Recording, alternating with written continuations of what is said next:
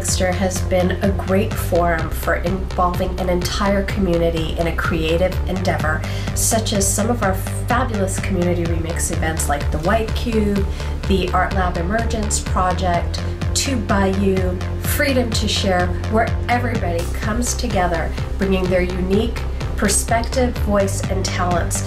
to a body of work that represents the spirit of shared culture.